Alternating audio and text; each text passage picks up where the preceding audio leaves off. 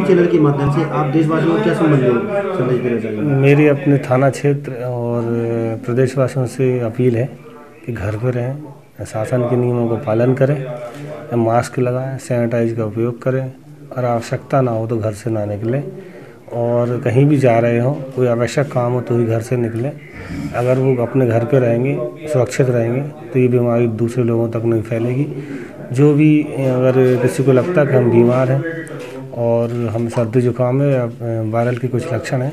संबंधित डॉक्टरों से जाके अपना चेकअप कराएँ और चेकअप कराने के बाद क्वारंटाइन किया जाता तो वहाँ पर रहें और जब तक डॉक्टर ना बोल दे, तब तक वहाँ से ना जाएँ। वो सुरक्षित रहेंगे, हम सब सुरक्षित रहेंगे।